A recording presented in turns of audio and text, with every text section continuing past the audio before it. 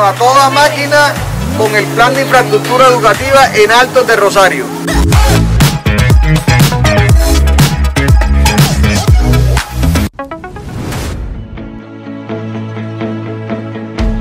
Desde muy temprano a la mañana estuvimos en Altos de Rosario, luego estuvimos en Barrancoloba trayendo grandes noticias. Nuestra ruta por la educación no para. Con la infraestructura educativa le estamos apostando a la competitividad, porque solo a través de la educación podemos romperle las trampas de la pobreza. Usted ha cambiado la historia de la educación en esta región del país. Barrancolova. Señor gobernador, muchísimas gracias. Señora secretaria, diez mil gracias por este momento histórico. ¡Viva Barranco, viva mi pueblo y viva el Bolívar primero!